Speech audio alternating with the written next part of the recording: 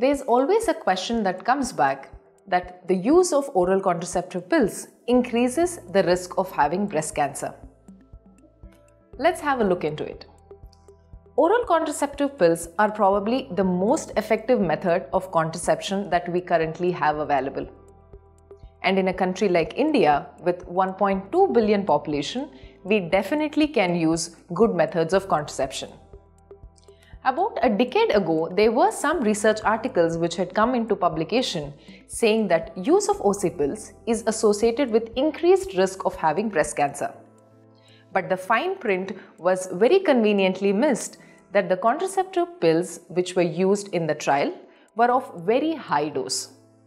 It is much clear now that use of only higher dose contraceptive pills is associated with increased risk of cancer and the ones with low dose pills are not associated with any increased risk. So if you are a young woman, healthy and do not have any family history of cancer, you can conveniently use your regular oral contraceptive pills without having a higher risk of developing cancer.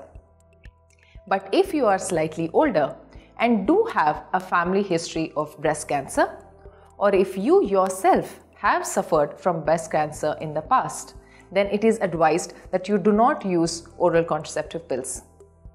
It is always preferred that you discuss freely with your gynecologist regarding your current conditions and then make a choice of the kind of contraceptive pills you should be using.